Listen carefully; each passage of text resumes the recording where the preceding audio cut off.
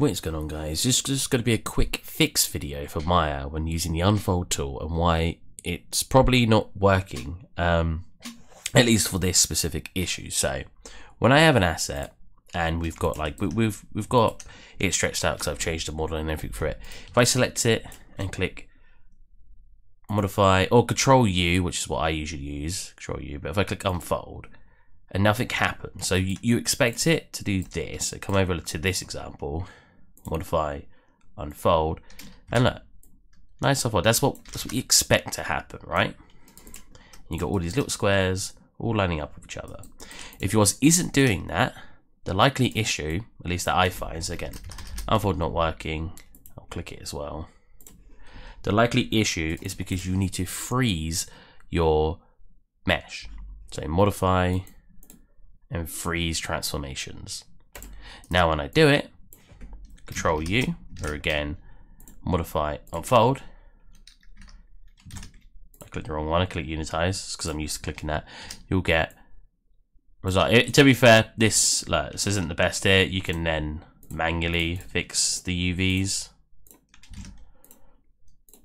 But yeah, so if you're experiencing that issue, it's likely because you haven't freezed your or frozen your geometry, however that would be said.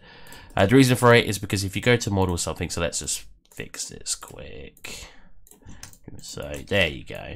That's a better UV map, and boom, nice UV map and nice texture density. Like there's no warped rectangles. The reason that this happens is because if you go to model something, let's get another cube. So if I were, so this would be perfect. If I were to stretch it, if I went into edit mode, so right click, face, or in Blender it's called edit mode, I moved this out to where I wanted. Go, oh yeah, go back into object mode. Oh yeah, this is great. Unfold.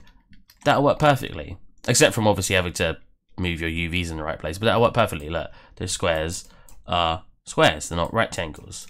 However, if you were to model something, and instead of modeling it in edit mode, you stayed in object mode and then you just scaled it, because basically what this is doing is it's just changing sort of your you know, your transform attributes. If I went to unwrap it now, it's the same. Whereas if you freeze your transformations, it'll reset these to one, and then it will work. Hope that help somebody out. I know that this issue bothered me for ages, uh, especially when I was in university, and I was not told how to fix it. I was told that you should freeze transformations quite often, um, just because, just just because but I kind of ignored that advice um, and I didn't realize it affected your UVs. So yeah, remember to freeze your transformations um, to either fix your UVs or just in general because it's a good habit to keep to. Hope you guys enjoyed and I'll catch you next time. Bye, bye.